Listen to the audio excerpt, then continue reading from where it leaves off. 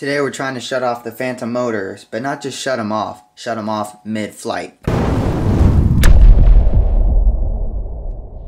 I've seen a lot of questions lately from people nervous about their motors shutting off mid-flight, either from the motor startup sequence like this, or from just holding the throttle down for 3 seconds like you do when you land and it shuts off the motors.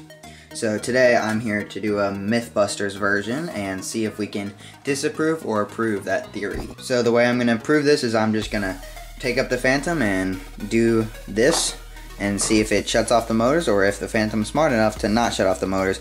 I actually, honestly, I thought it wouldn't shut off the motors, but as you're about to see, it didn't go as I planned. So as you can see here, when you start up the Phantom, you go to the middle with both sticks, and that starts the motors and then you slowly increase the throttle. So, and also when you land, you can go back to the middle with the same sequence and that will cut off the motors. So the question is, is what if you're flying and you accidentally go like this? What's gonna happen?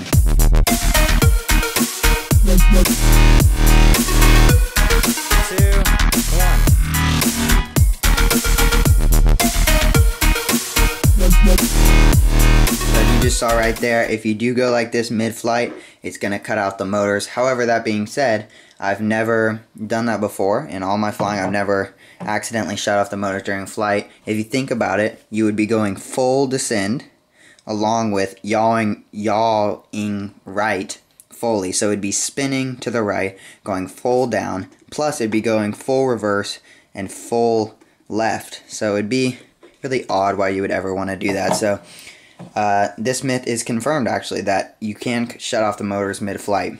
And uh, at the risk of my phantom yes uh, it will cut off the motors. And I was actually really surprised by that. But I wanted to take it one step further. Another thing that people are worried about when you land you can hold down the left stick for three seconds and it will also shut off the motors. So the worry is what if I want to descend really fast and I hold down the left stick for more than three seconds is it going to shut off my motors?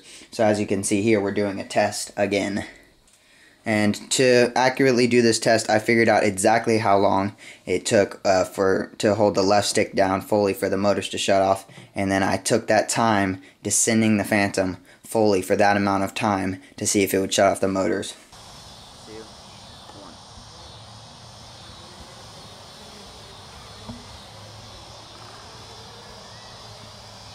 And now as you can see, it did not shut off the motor, so that myth is busted.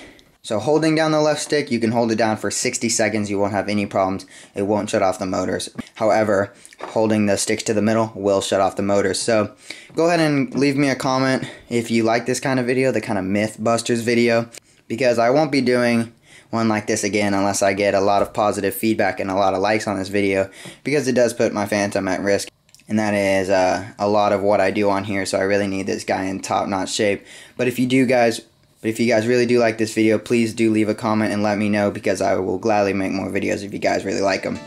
So summary, doing this will shut off the motors anytime. Doing this will only shut off the motors if you are on the ground. Thank you guys for watching.